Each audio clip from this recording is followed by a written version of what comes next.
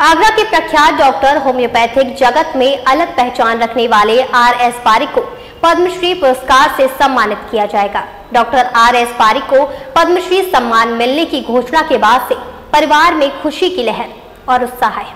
वहीं इस सम्मान की घोषणा के बाद से परिजन एक दूसरे को मिठाई खिलाकर बधाई दे रहे हैं। अपने संघर्ष से होम्योपैथिक को देश विदेश में पहचान दिलाने वाले डॉक्टर आर एस पारिक को पद्मश्री पुरस्कार दिया जाएगा। इस पर डॉक्टर आर एस पारिक ने कहा कि मैं बहुत खुश हूँ। जब मुझसे पूछा गया कि क्या मैं पद्मश्री पुरस्कार को स्वीकार करना चाहता हूँ तो मुझे बड़ी खुशी हुई। मैंने कहा हाँ यह मेरे लिए गौरव की बात है। उसकी जो अनवरत मेहनत थी, उसको रिकॉग्नाइज किया गया पैथी को रिकॉग्नाइज किया गया। इसको मैंने एक साधारण पैथी के स्तर से एक उच्च वैज्ञानिक स्तर तक पहुँचाने की कोशिश करी। और उसका प्रभाव यह हुआ कि पूरे देश में ही ये पद्धति जो है वैज्ञानिक तरीके से मान्यता प्राप्त करती चली गई। चिकित्सकों का मान बढ़ा, उनको एक मार्गदर्शन मिला।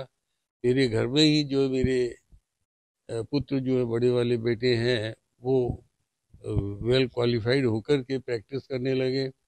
और अपनी प्रैक्टिस को इतने ऊँचे लेवल के ऊपर ले गए कि विश्व में जो हमारा एक संस्था है इंटरनेशनल होम्योपैथिक लीग पूरे विश्व की एक संस्था है, उसके सारे मेंबर्स हैं, हर कंट्री के जो है, उसका अब तक जो है यूजुअली जो अध्यक्ष होता था इंटरनेशनल प्रेसिडेंट वो या तो अमेरिका से होता था या जर्मनी से होता था इंग्लैंड से होता था, और मुझे बड़ा गर्व है कि वो पहले भारतीय थे जो इंटरनेशनल एसोसिएशन के प्रेसिडेंट बने।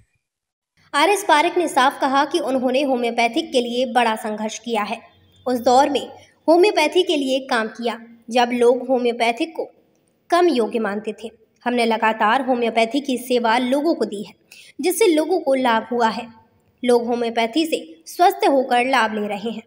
मुझे पद्मश्री सम्मान दिया गया है। उसके लिए मैं सभी का धन्यवाद देता हूँ। यह मेरे लिए गर्व की बात है कि कितने बड़े सम्मान से मुझे नवाजा गया है। मून न्यूज़ के लिए अनिल चौधरी की रिपोर्ट।